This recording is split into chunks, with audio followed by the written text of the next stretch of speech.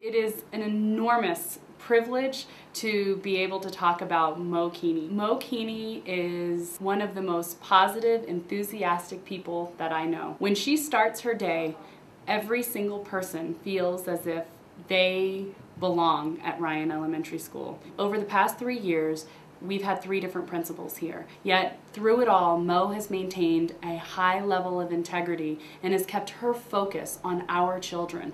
Both of my children have gone to Ryan and grew up through Ryan and the Lafayette community of schools. I just love the whole community of Lafayette and the small town feel and the helpful nature of everyone.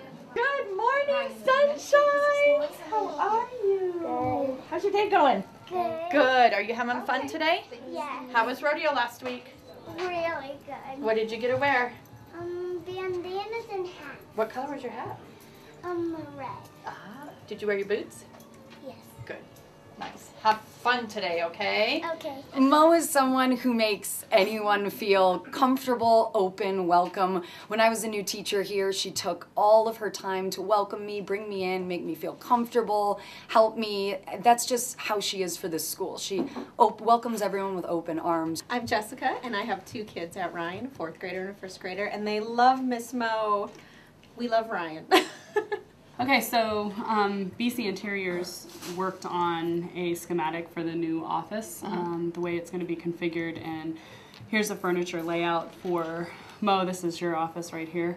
Ryan is special um, because it has a huge heart. Has a huge heart for um, the staff. Has a heart for the kids, and we really love getting to know our kids and helping them through and exciting them about learning.